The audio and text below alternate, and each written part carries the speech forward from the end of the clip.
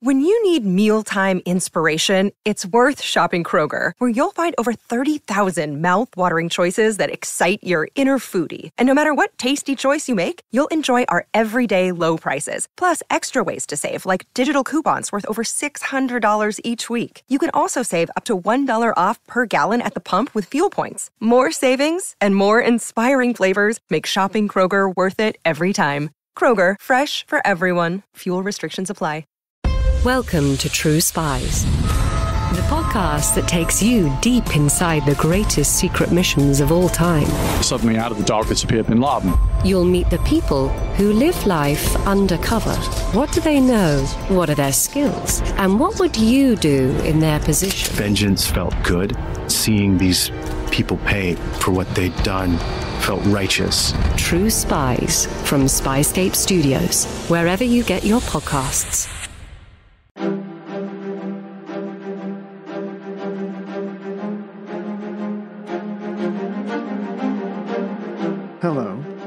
Thank you for listening to The History of World War II podcast, episode 484 Hitler Cleans House.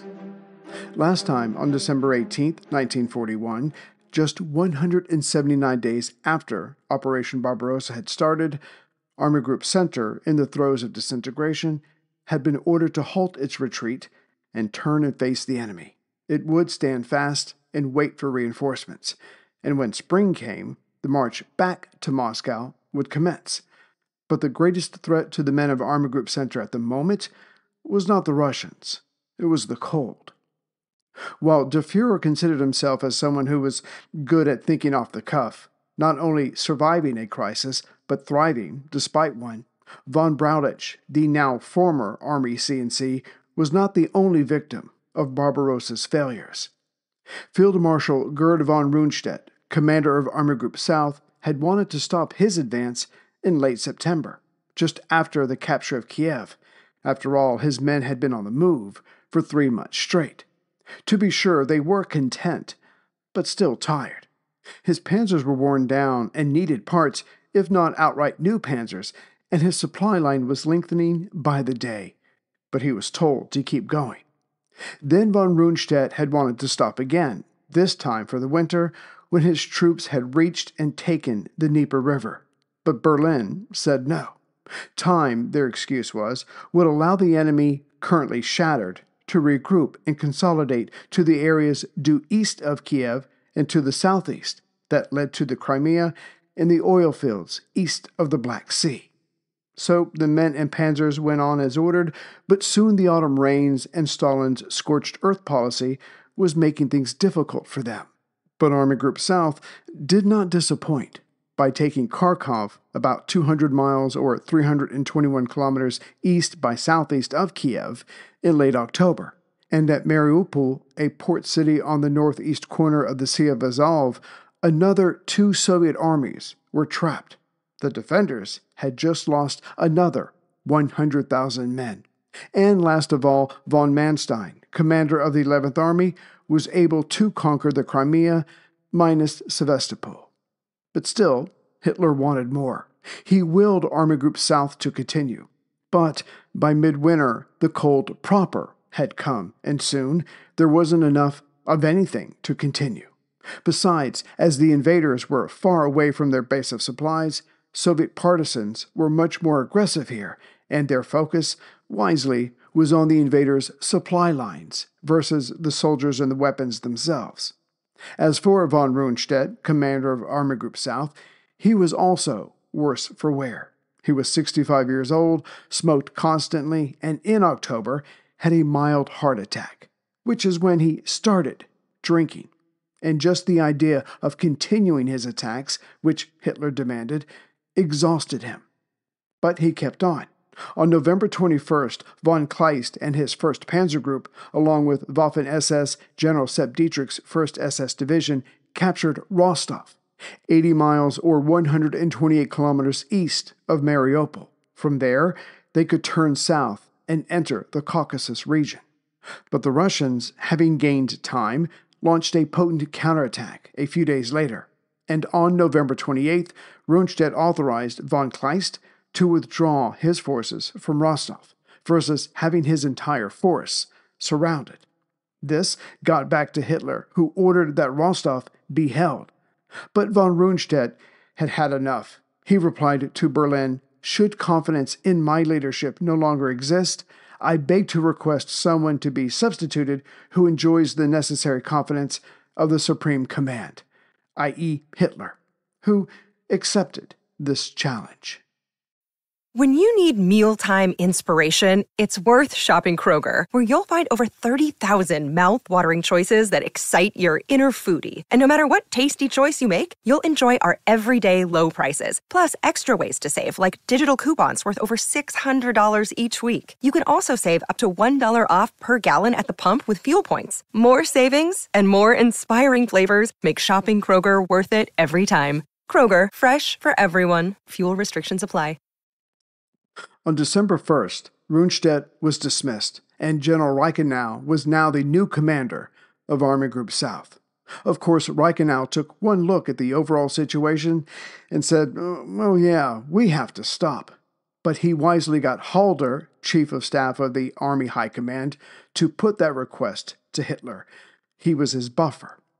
On a side note, Hitler would realize he may have just made a mistake. So he flew to the area on December 3rd, and after speaking to Reichenau and Sepp Dietrich, the SS commander, he told Rundstedt, Oh, I misunderstood. Tell you what, you go take a break, and then, and I love this part, once more place your incomparable services at my disposal. But von Rundstedt would never see the Russian front again. His future would be in the Western Theater. Yet, as Hitler was the head of state, politics was never far from his decisions. Thus, the failure to take Moscow and the retreat of Army Group Center was placed at the feet of von Brauchitsch, who was no longer in his position to defend himself, and heads would keep rolling.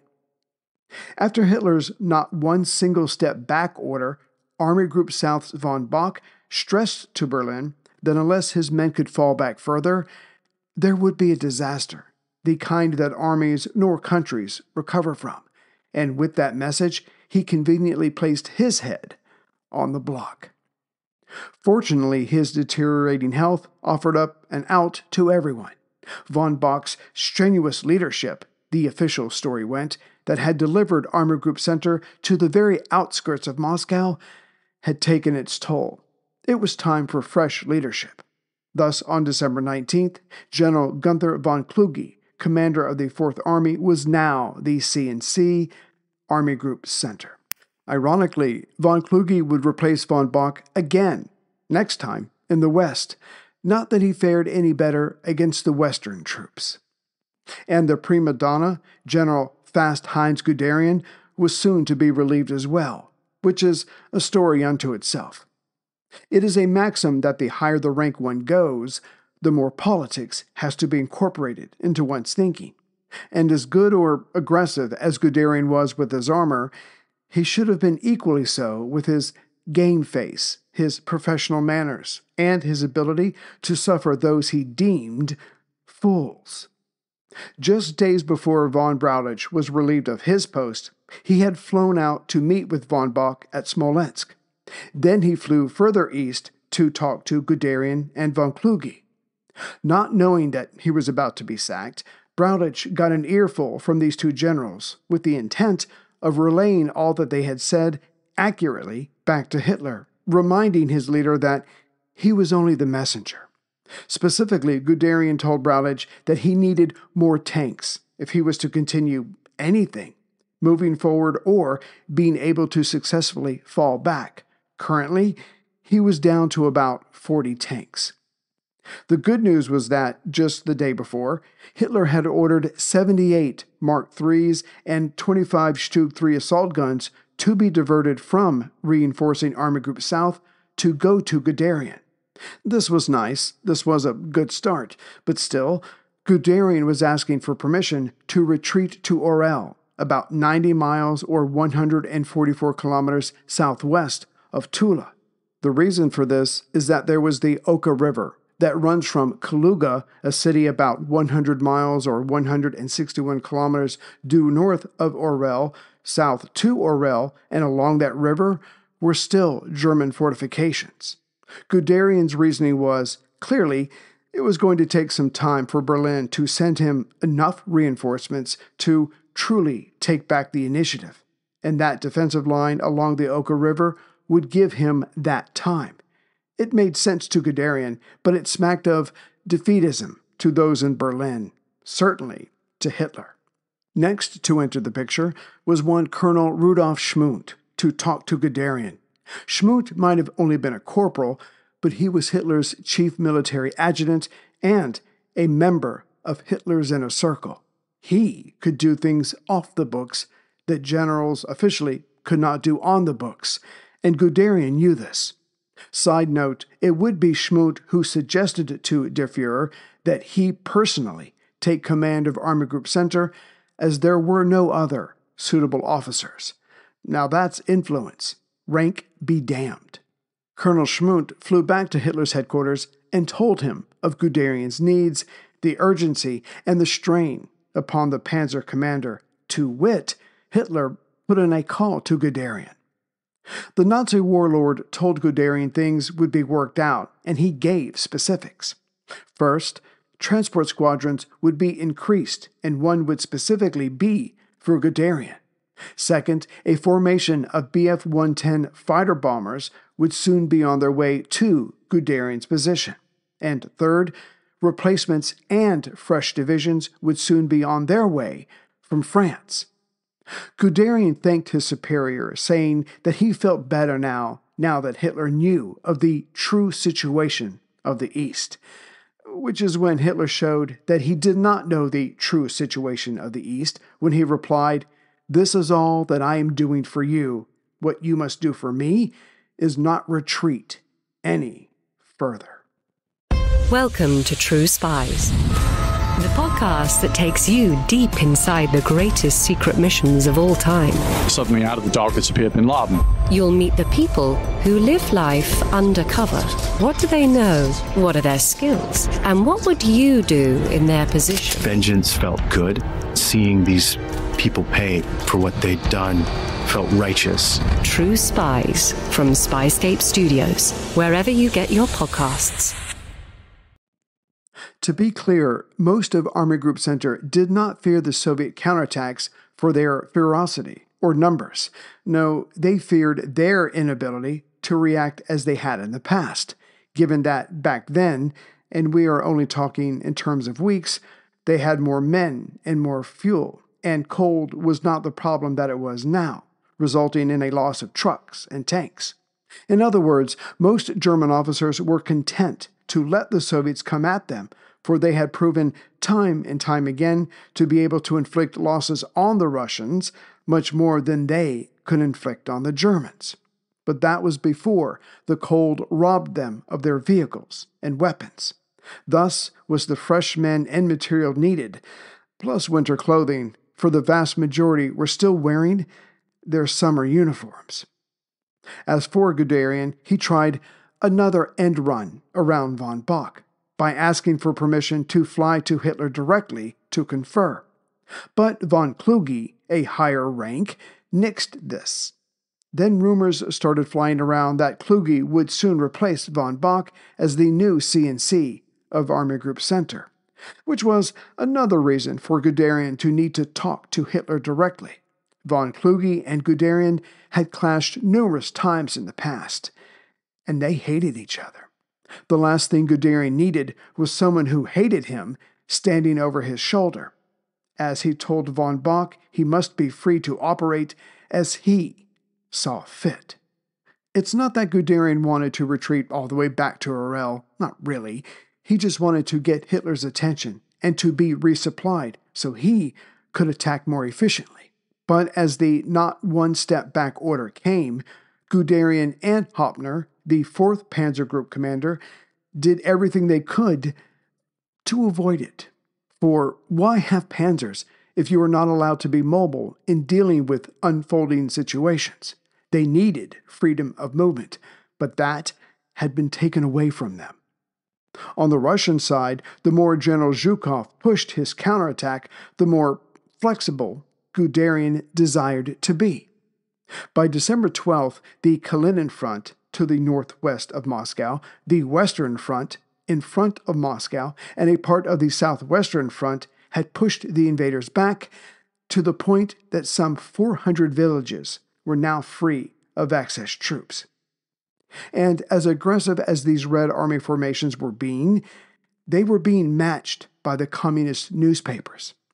Pravda and others reported on the pushback of the enemy near Moscow, of the cruel atrocities seen by the Soviet soldiers as they chased the enemy away. Then, Stalin ordered that men like Zhukov and others be put on the front page to give the Russian people their heroes. This was only the second time Zhukov's photo had been published. As for the meat of their stories, they remained less accurate, as Soviet casualties were just as numerous as they had been since June. The difference being they were now losing men while attacking the enemy, driving them back, versus being surrounded and starved to death. Preferable, but still deplorable. By December 16th, Zhukov's first phase of defending Moscow was over, and it had been a bloody success. Now Zhukov wanted to push further west and northwest of Moscow by some 130 kilometers or 80 miles. Now, this was not overly ambitious, but it was realistic. And given the lack of training, weapons, and proper clothing for some of the Soviet troops, this was doable. Also, Zhukov knew that he would have to settle for frontal attacks, as his men were not sophisticated enough to do anything else. Thus, he would lose many, but the enemy would be driven back. To this plan, Stalin said yes and no. Yes to the second phase of the offensive, but no to the four additional armies Zhukov was asking for. No, those troops would go to the wings of Zhukov's attack. Stalin still wanted to encircle the entirety of Army Group Center, no matter how unrealistic that was.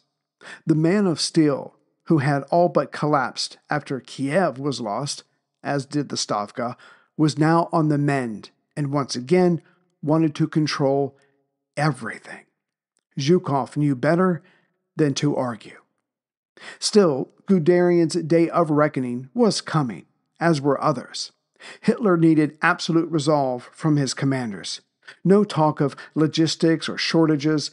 Per Hitler, these would all be overcome with National Socialist vigor. But that theory was about to be put to the test. Greetings, everyone from Central Virginia.